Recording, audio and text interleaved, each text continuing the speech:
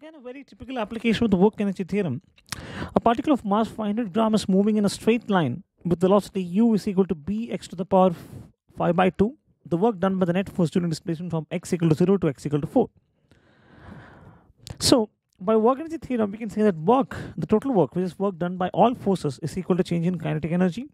Change in kinetic energy, which is half m into vf square minus vi square. What is m? m is 0.5. Now we need to find out vf and vi.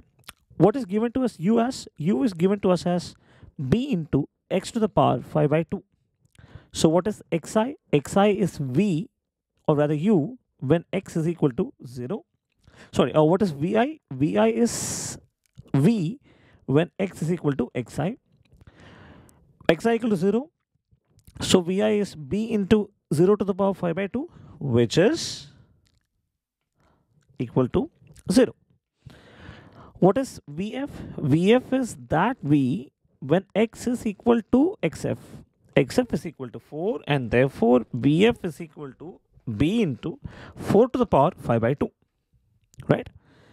So instead of Vf square, we can substitute B into 4 to the power 5 by 2, the whole square, minus, instead of Vi square, we can substitute Vi is equal to 0, 0 square. So when you take the square of B into 4 to the power 5 by 2, B the square is B square, 4 to the power 5 by 2. 4 to the power 5 by 2 the whole square is 4 to the power 5 by 2 into 2. Why?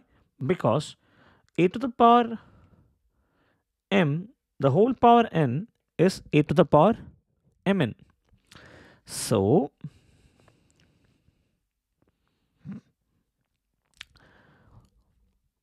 two by two is one. So what we get is b square into four to the power five. Now what's the value of b? It is given to us as 0.25. So what is b square? It is 0.2 point. Wait, let me just confirm. Is it 0.25 or 0.5? Take b is equal to 0.25. Okay. So we'll take b as 0.25. To simplify this calculation, what I've done is, what is 0.25 in terms of fraction? Yeah, it is 1 by 4. So what is 0.25 25 square? 1 by 4 square. What is 0.5? 1 by 2. So 1 by 2 into 1 by 2 is 1 by 4. 1 by 4 into 1 by 4 into 1 by 4 is 1 by 4 cube into 4 to the power 5. 4 to the power 5 by 4 to the power 3 is 4 to the power 5 minus 3 which is 4 to the power 2. 16 joules.